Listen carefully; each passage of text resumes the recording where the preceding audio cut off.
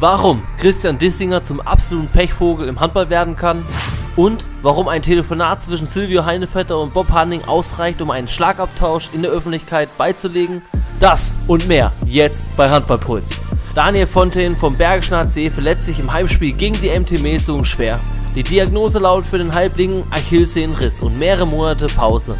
Die Saison ist für den Saarländer damit beendet. Für die Bergischen Löwen ein herber Schlag, vor allem nach dem Sieg gegen die MT Mesung. Der BRC ist nun nur noch ein Punkt vom Platz 5 entfernt.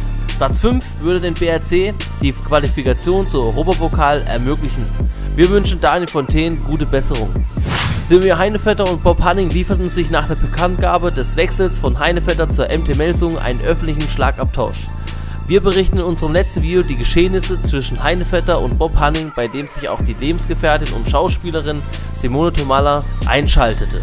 Nun berichtete Silvia Heinevetter nach der Niederlage gegen den THW Kiel, dass er Bob Hanning anrief, bevor die Bildzeitung die Schlagzeile veröffentlichte, dass Bob Hanning im Nachhinein andere Dinge behaupte und dass er, also Silvio Heinevetter, kein weiteres Öl mehr reingießen möchte.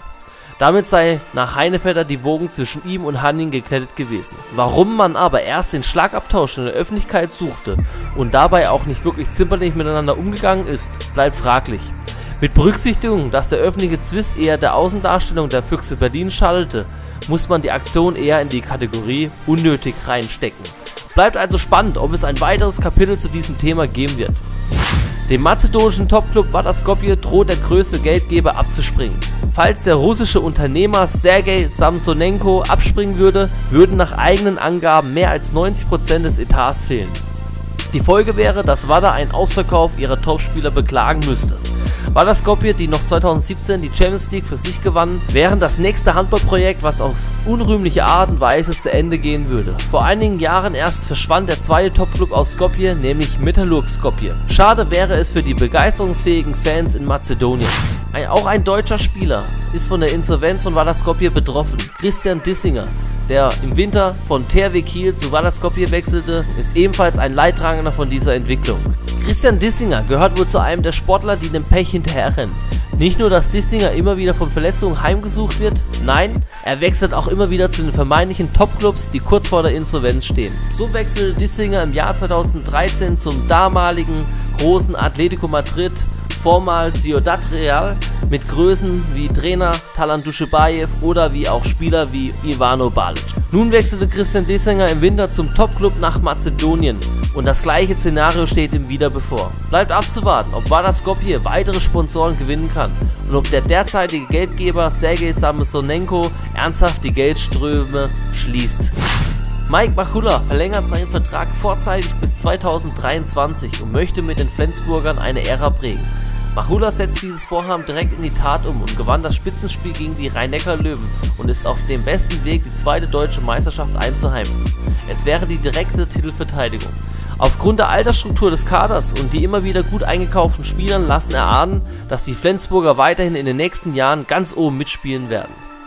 Der VfL Gummersbach erhält die Lizenz für die neue Spielzeit 2019-2020 nur unter Nachreichung weiterer Unterlagen. Die HBL stellt wichtige Bedingungen, die der VfL Gummersbach bis zum 3.5.2019 erfüllen muss, damit man auch in der kommenden Saison in der stärksten Liga der Welt mitspielen darf. Schindler, der sportliche Leiter des VfL, gibt sich optimistisch, dass diese Bedingungen ohne Probleme nachgereicht werden und der VfL Gummersbach die Lizenz erhält. Die Gerüchte um den VfL Gummersbach reißen dennoch nicht ab. Immer wieder kursieren die Gerüchte, dass der VfL Geldnot hat. Vor allem bereiten die Altlasten aus früheren Tagen den Traditionsverein aus dem Bergischen Land Probleme. Bleibt abzuwarten, wie die Verantwortlichen des VfL mit dieser Herausforderung umgehen werden. Eine kleine Anmerkung am Rande. Am kommenden Mittwoch kommt es zum Showdown in der Champions League zwischen der SG Flensburg-Handewitt und Telekom Westprim. Ein Wiedersehen wird es hier mit Kentin Mahé geben. Genauso brisant ist die Situation für Rasmus Lauge. Denn Lauge wird in der kommenden Saison für Telekom Westbrem auflaufen. Als letzte deutsche Mannschaft ruhen die Hoffnung bei der SG Flensburg-Handewitt, sodass eine Mannschaft aus der DKB Handball-Bundesliga hoffentlich in Köln vertreten sein wird. Das Spiel wird am Mittwoch um 19 Uhr angepfiffen. Das waren die aktuellen Handball-Transfer-News auf Handballpuls. Schreibt eure Meinung in die Kommentare und lasst ein Like da, falls euch das Video gefallen hat. Folgt Handballpuls auch auf allen weiteren Social-Media-Kanälen für noch mehr Handball-News.